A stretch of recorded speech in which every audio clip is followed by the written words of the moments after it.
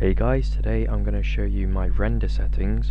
Um, so what you want to do in Sony Vegas is go up to the project properties and a little trick I use is match media settings and what you want to do is find the clip that you've imported into Sony Vegas. I just saved mine to the desktop so that's it and basically what it does is it matches your video. Um, sometimes if you record with 1080i and it's an interlaced um, it may change your frame rate to 29.97 you may have to change that up to 59.94 but um, I have mine at 720 so it just records at 59 right so now that's done you just click apply and OK.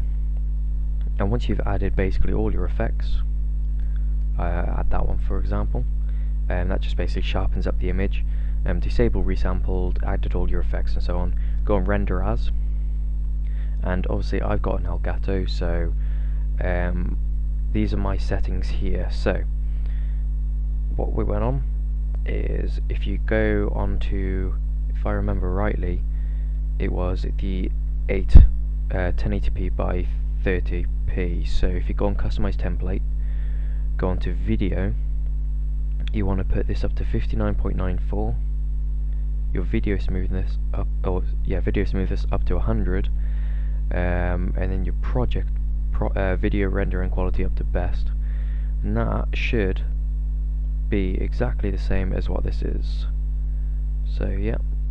You don't need to change all the bitrate or the index summary.